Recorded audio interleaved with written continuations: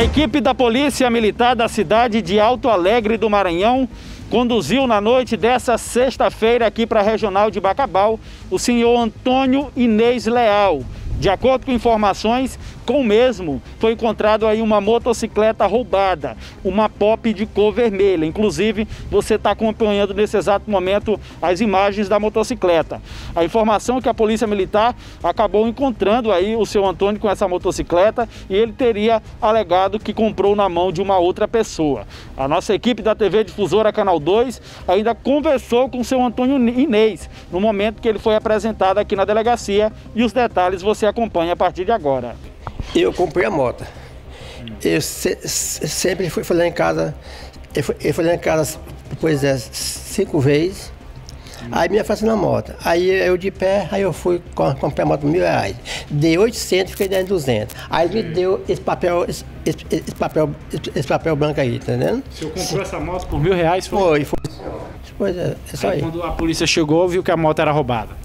Não. Mas o senhor comprou essa moto na mão de quem, senhor?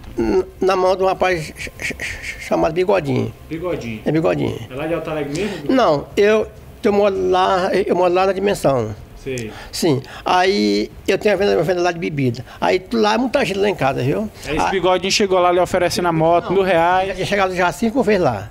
Hum. Me oferecendo a moto. Mas o senhor não achou muito barato, não? A moto por mil reais, uma pop, semi-nova. É, é porque um vizinho lá comprou vendemos 700, eu achei que eu devia comprar essa por mil.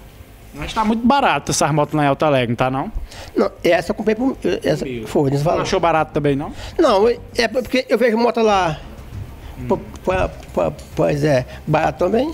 Aí eu fui e comprei essa. Lá assim a moto é barato, 1.600 reais, né? Não, essa eu comprei barato. É, essa eu comprei porque achei barato. E aí eu estava de pé, precisando, né? Aí aí, complicou só para o senhor aí, né, senhor? Senhor? Complicou só para o senhor. Olha, eu tô, eu tô, eu tô com idade de 62 anos.